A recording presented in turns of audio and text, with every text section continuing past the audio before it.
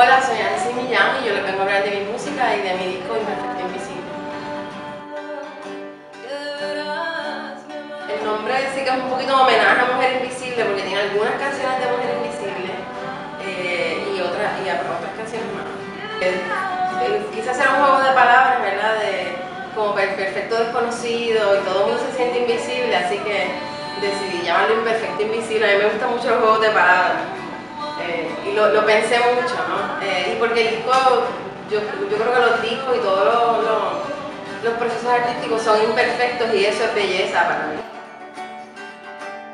A mí me gusta mucho el, el, tema inevitable del amor, ¿verdad? Yo creo que, yo creo que ese es un tema que todo el mundo toca.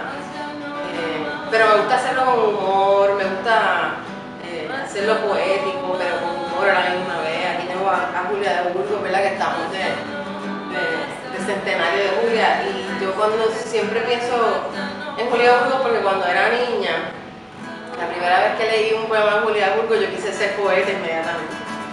Y bueno, pues no me he dedicado a ser poeta, pero, pero ¿verdad? la poesía la uso para hacer música. Así no me gusta ser grasa, como por eso no soy, ¿verdad? Me disculpo, no soy tan fanática, por ejemplo, del, hip hop, aunque hay cosas que me gustan eh, y lo respeto y lo entiendo, porque me parece que porque es bien in your face eh, y bien literal muchas veces. A mí me gusta más la cosa media crítica, ¿verdad? Me parece. Bueno, pues yo eh, siempre quise ser cantante. Yo terminé siendo actriz por casi por accidente, pero yo desde chiquita lo que yo quería era ser cantante y siempre quería escribir. Así que yo recuerdo, siempre bromeo,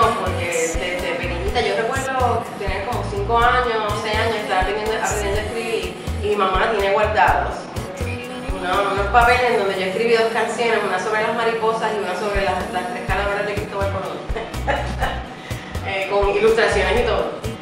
Pero según fui madurando y la vida me fue llevando y tenía, ese deseo siempre estaba ahí cuando vivía en Nueva York estaba trabajando con Astrid y dije, yo quiero, yo quiero hacer música. Así que me compré una guitarra, me compré un libro y me enseñé yo misma a tocar, a tocar guitarra, que no soy guitarrista, toco ahí más o menos, me acompaño más o menos.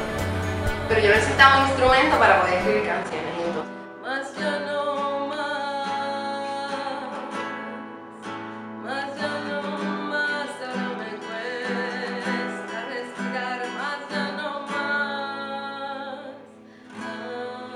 es un EP, que es un tipo de formato que aquí no se hace tanto. Y aquí conocemos más el álbum, ¿verdad? que tiene 10, 12 canciones.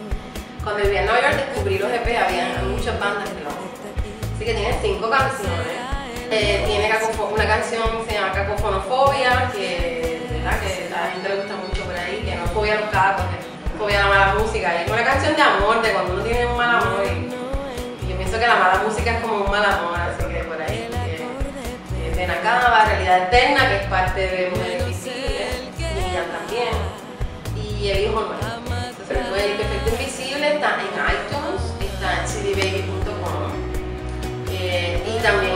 en la Fundación Nacional para la Cultura Popular en Vieja San Juan y en Abracada.